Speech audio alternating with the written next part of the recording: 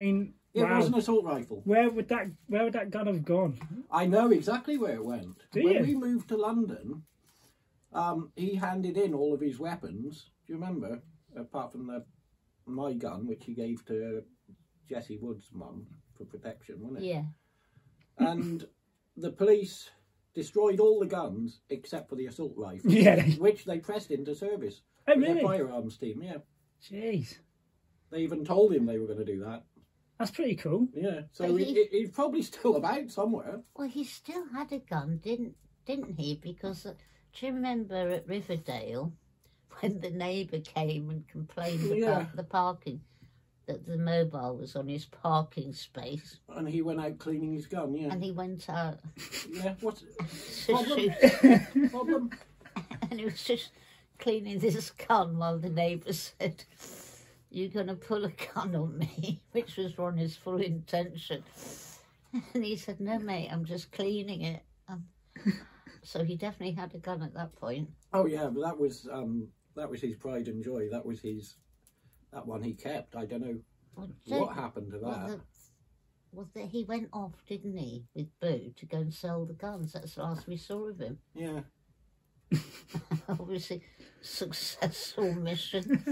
But the other, the tail end of your story with, with his hunting expedition was when he put all of that fur and red bits into Yeah. into a Tuffins carrier bag and comes home to me and he says, Home, Mr. Hunter, home from the hill. Here you are, woman, that's the pot. And I looked inside. There was nothing there. It was just horrific, red and fluff. That was it. absolutely horrific. But uh, Serious overkill. on But it was a it was a quiet gun. Mm. I'd have gone I'd have gone hunting with him if he took that gun, right? well, it wasn't much good for hunting if it blew everything apart. Mm, you need to hunt some bigger stuff. Yeah. Clearly, Yeah. Not little, not little buddies. no, just neighbours from hell. So well, he used to take aim at the hang gliders, didn't he, on a Sunday? Sunday Yeah. morning, he'd take his rifle and shoot the hang gliders. He was a menace. Christ, Yeah, yeah. I think I'm destroying his reputation. yeah, this is uh We might just have to stop this right now. Um, But he did do it a Um, certain amount of panache. so what? Okay, so what? I mean, uh, anything out just from the Fishpool the Times? Because obviously, we know a lot of music was written there. You talked about anymore for anymore. Um, the other thing I hear about a lot again is a lot of my friends' parents always talk about the Drum and Monkey. Yeah. uh, going to the pub and like the people you could go to the pub for a drink and the people who'd be in there jamming and stuff. Obviously, Oh. that's Fishpool days, isn't it? Yeah. But funnily enough, I bumped into some people up at White Brit the other day, and they said, "Oh, I remember you, you lot when you used to go down to the miners on the horse and cart. And one time, you were only a baby, but you must have fallen off the cart and landed in the hedge." And they got down to the pub, realised you weren't there, sent someone back, and found you asleep in the hedge. No way! This is two weeks ago I heard that story. Bloody hell, mother! Yeah, You were supposed to be in a basket. A right. bit like Again, Emma. I've got yeah. baskets. I love baskets. Seriously, these these Isofix baskets are amazing. Oh, yeah. So, yeah, it's a horse and cart. Well, it was a Um, hell of a hill to go down. Have you not regaled Charlie with the story of your tractor driving experience? oh, no, not really. Well, Mum can't drive No. no, full stop, can you? You know what she not did? then. Dad put her on the tractor and she immediately drove it straight into the fish pond. Right? Yeah. What? Why? Uh, He left it in reverse. Bit of dredging. yeah. He left it in reverse. He didn't tell me about that. He just said, well, you know, like you're doing a motor, you just put your foot down there. It's so easy. Anyone, any fool can drive a tractor. Yeah. Just get on with it. And it went straight back and landed in the duck pond. Hmm. And uh, Well, so you killed it. Oh, no, no, no, no, no, it survived. I mean, It survived. it was an. You'll know what make it was. It was It an a- ancient one. It was an old Fordson Major. Oh, okay. Hardy old tool. Yeah. Well, it was okay. Came out of there all right. So you never drove it again? No, I was banned. Yeah, Yeah, that. good. for everyone's safety, especially the ducks on the pond. yeah. Yeah. That was See, his fault, though. I mean, he should have told me it was in reverse. I, I mean, it just went backwards all the way. See, never did teach me to drive. no, That's funny why I that. had a horse and cart. Yeah. Horse and cart was marvellous. And that, though. and you were, you were faultless on the horse and I- I cart, clearly, nifty. except for losing your children on the road. yeah, Roadkill. Yeah. roadkill. So, Oh, really, I wasn't so this is nice. So, bad. so far we talked about shooting small animals, ditching your kids, Yeah, and driving tractors into as a matter of fact, we're not coming out of this too well, Luke. Was this a good idea? Not really. Should we no. move on to how successful we were at something? Yeah, let's talk about Anything something. Let's do. talk about something you got right. Um, Oh, God.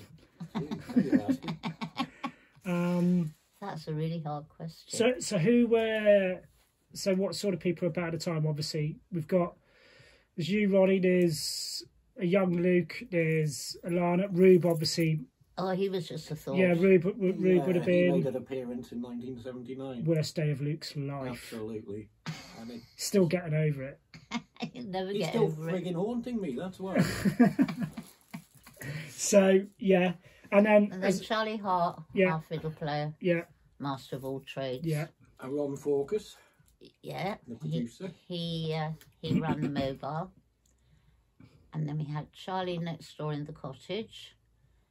And then, as during the making of Any More for Any More, we had the whole band there living. That's why we had all those wagons. Well, we got these wagons anyway because we kept collecting wagons. But uh, them and their wives and kids, and any sort of extraneous passing by that was musical in some way or interesting. We had turkey sandwich. What? Do you remember when we discovered him? What turkey sandwich? Turkey sandwich and wild ruby. Yeah. We discovered them when we went off to the coast in the bus. It was Wild Ruby had the long black hair, was it? Well, sort of longish, yeah. Was it was it her that was with me when I found that puffball? That Yes. enormous puffball. Yes, she was. That's what I thought, yeah. And she ran off with Charlie's girlfriend. No way. Yeah. She So- was I remember her being quite pretty. She was. She was fit. Yeah. I didn't couldn't really say that. I was four at the time. Yeah, but uh, we discovered them, as I said, um, when we'd gone for just for a weekend somewhere down the coast, probably Barmouth or Tywyn or wherever, and they were performing as Turkey Sandwich and Wild Ruby, and Alana fell in love with Turkey Sandwich because he was a clown. Oh, there That it This is is. where the clown comes Well, from. she she just liked clowns. She was mad for clowns, and he was very funny. And they did an act that was really good. So anyway, they came back with us and subsequently stayed there for quite a long while till, you know, domestic issues forced them apart somewhat. But we still had Charlie, good old Charlie. Harry Hard's girlfriend. Yeah, Wow. Well, Completely went over my head. well, it went over mine a bit because Yeah, I you probably it- would have struggled at four to see what was going on. Well, I, I don't think, without sounding a bit. What's Hmm. Wild Ruby doing with that woman? Yeah. she is wild. Look at her go. Mom? Turkey sandwich and wild ruby. Who else did we have there? Oh, then we had Alistair and Wendy. Oh, and Well, Sophie. they they sound normal. Do you remember and Sophie? Sophie. Oh, Sophie used to beat me and Lana up. And uh, Okay, nice. Yeah, and also he maintained and painted the wagons Oh, okay. because that's what he did. Because he eventually opened that wagon museum Yeah, where our wagons landed up, yeah. never to be seen again. Alas, alas. That's another story which won't be told. Yeah, we'll move on so, from that. um, moving on rather smartly, I want to use and abuse Luke while he's here. Yeah, we got him. We got him. Luke Lane on camera, pre-lockdown. It's never going to happen again. No, it probably isn't. This is once in a lifetime. so we, we need to concentrate on Fishpool days, something, anything that crops up in your memory